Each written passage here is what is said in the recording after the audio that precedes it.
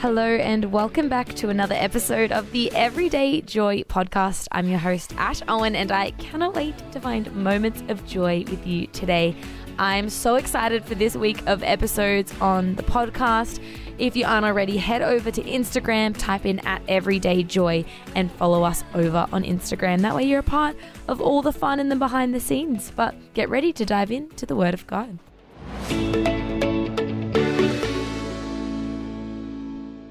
Like billowing clouds that bring no rain is the person who talks big but never produces. You can find that in Proverbs 25, verse 14.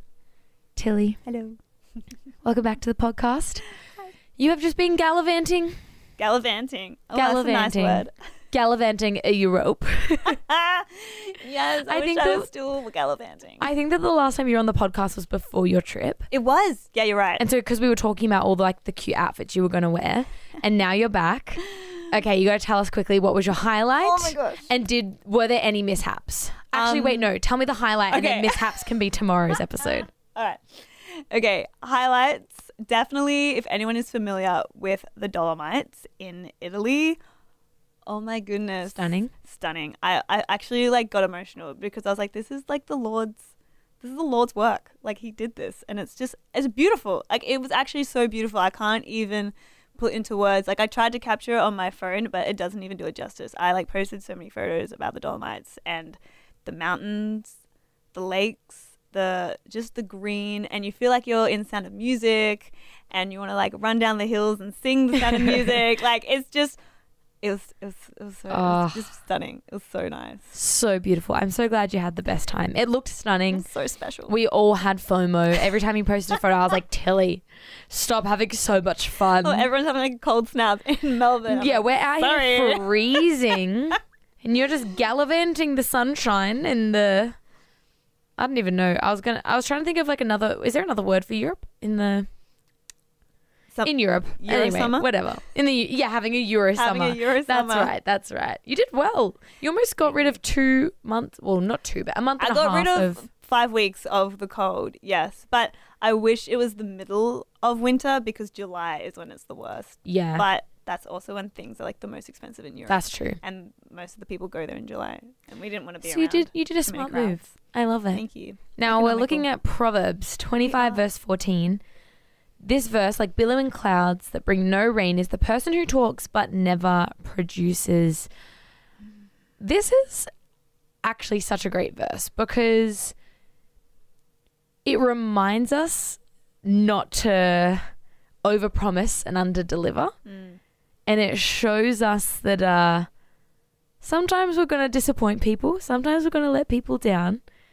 But it all kind of comes. I love this analogy that they kind of talk about, like the billowing clouds and, and everything Yeah. that that looks like. The picture of that is really great because, like, I mean, if you think about just where Proverbs would have been written, like, we're, we're talking about the Middle East here. So, how many people in the desert would be relying on those clouds to send rain? Whether it's like you're a farmer and it's for crops or to water your camel, like, it, it's like you you're relying on that for your your livelihood. So you make plans around it. You see the clouds, you have these expectations, you get this adrenaline and excitement and a rush, and then nothing. Yeah. Yeah.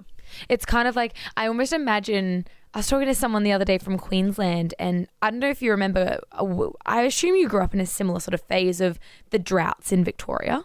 Oh well, I grew up around Central Coast, so I came later. So you'll have to enlighten me. Well, me. I was just going to say, it reminded me of like uh, being a kid, right? And we Mm. were in these droughts kind of for a long time of, you know, my kid years.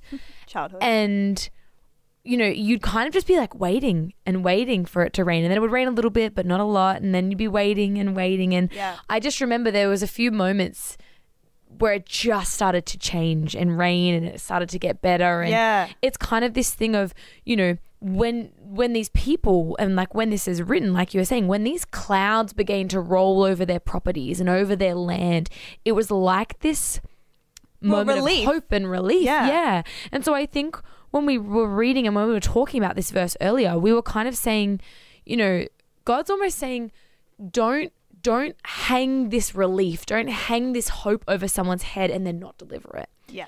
you know, it's so easy to want to help people in a moment. It's so easy to go, yes, I'll do this. Yes, I'll go here. Yes, I'll help with this. But then in the moment, you go, oh, I actually, I actually can't do that. And so I think what this verse is saying is just be wise with your words. Be wise with what you're promising. Be wise with what you are discussing and and you know and telling people Mm. so that you're not creating these moments of disappointment and, A and frustration and being upset. Yeah, and even it's even like a good accountability for yourself because I know for me, I'll have all of these great ideas. It's all well intended. It's all well intended, even for myself, my own personal projects, and I'll tell everyone about them. Like, yeah, I'm going to do this, and yeah, I'm going to start this, and I'm going to make this, I'm going to sell this on Etsy, la la la. Like in COVID, how many of us tried to like write a podcast, or you know, all those like random little home jobs that came about when we were sitting in lockdown, and how many of them are just like half completed now? yeah. yeah. we never actually accomplished or finished all those like Mm. little random goals that we had. Yeah. And I think you were saying something before. You're talking about a verse about bitterness and how like it's almost Yeah, well, it's almost like those moments can cause division in those and relationships. like well, it talks about like unrelenting disappointment in Proverbs thirteen twelve will leave your heart like heart sick, and Huh. so it is like it is a heavy feeling to be disappointed and to be let down by one another. a hundred Yeah. And we I'm sure not just us but everyone listening, we've all been through those moments where someone's disappointed us. Mm. And sometimes they're really rough moments where your expectation was one thing, their promise was one thing, but it never happened. And you were relying on them and you were waiting for them. And sometimes that moment of disappointment and bitterness does come because you're like, oh, I was relying on you and that's what I wanted. Kind of same thing. You're waiting for the rain and it just it just didn't come.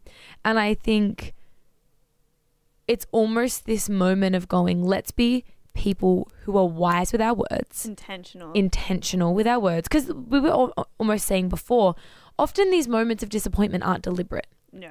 You're not out here trying to spite someone. You're not out here trying to make someone's life hard.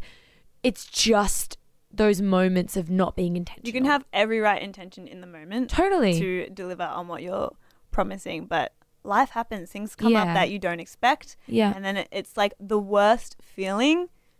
Like it's equally bad. I don't know what's worse when you're the person who's let someone down that you love or if you're on the receiving end of Oh, being let down both. like they're both so heartbreaking yeah and i think that being aware of that will hopefully help us to just tame our tongues a little bit Mm. and the reality is it doesn't mean you have to not help anyone or not talk Like, about i'm not anything going to commit to anything No, it's just it's just thinking about it. Mm. It's just taking the moment and not over promising and then under delivering and making sure that we can be people who don't just talk the talk, but we can walk the walk as well. Yeah i can think of a time and even remembering Aw. this moment is so hard for me because it was everything i did not want it to be But I can remember a time where um, my best friend was getting married and I was her maid of honor. But the weekend that she was getting married, there was this uh, work conference that I had to be a part of because it was like blockout period. And yeah, like a blackout, non-leave yeah. zone. no, no leave zone. And it was so hard. And I was only, obviously, I mean, I have to be at the wedding. So I was able to take the day off for the wedding. But that whole week leading up to the wedding, I was not able to be there for her like I wanted to, like we had planned, like she wanted. And she's like, You're my maid of honor. And I, like, she, we're both crying over the phone. And it was awful because all the days leading up, I'm at work preparing for this conference and running around and organizing things. And the conference went into the night as well. It was so hard to duck out, just get like a spray tan for the wedding. Yeah. And it was so, so disappointing to let her down in like, it's your wedding. It's one of Yeah. the most important weeks of your life. You're getting married and you've got someone that you love who is unable to support you in the way that you wanted them to. Yeah. And I hated letting her down. That was that was probably the most awful experience. Yeah. And we were kind of saying before how sometimes, and if, if you can kind of get anything out of today's episode, Mm. it's one, be be aware of what you're promising to. Look, your situation was a bit tricky because, you know, It wasn't my fault. you're gonna you're gonna be there no matter what. But I think be aware of what you're promising. Like you said before, Yes. let's be in, intentional people who speak with intention and who are deliberate about the words that we promise and speak. But also, being a great communicator is also a part of it. Yes. I hate letting people down, and I feel that you're very similar. And probably everyone listening, it's like I get this sick feeling in my stomach when I know I have to call someone or text someone and say, I'm Yeah. so sorry, Yeah. I have to cancel dinner or whatever it is. the thing that I have learnt though is that the better and the earlier you can communicate it, Yes. the better. A hundred percent. Because there are going to be moments where you do have to let people down. It's un what's the word? Unavoidable. Unavoidable. It's going to have to happen. We're going to have moments where it's hard and difficult, and you know, we are going to have to do that. But let's be people who do it well. Yes. Let's not just be yes men in the moment. Yes. But actually be able to tell them in that moment, I actually don't think I'm going to be able to commit to this. So Yeah. they're not built up in this expectation because it's just going to hurt more further down the track. Totally. So it's almost that over communication of, hey, you know, I love you. You know, I want to help you. I just can't in this capacity right now, or I can't do this. And to be honest, I think someone would rather that and have you that, send them an encouraging text message throughout the week to tell them that you're thinking of them if they're going through a tough time or one of those things than to have those moments of waiting for the rain to come and it never comes. Yes. So let's just be people who are intentional, who are doing the best we can with the capacity that we have. And I think that is what makes a huge difference in having those expectations met and not over promising and under delivering. Yeah, great.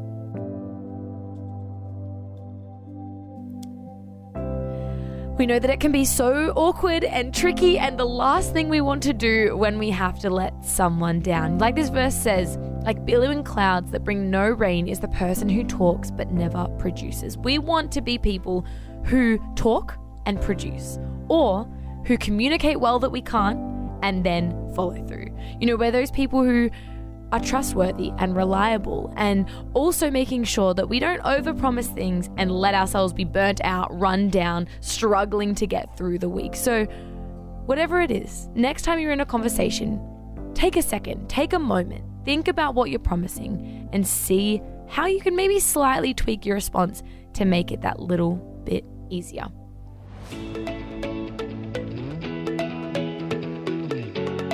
I can't wait to unpack the Word of God even more with you tomorrow. But until then, I pray you're able to find moments of joy.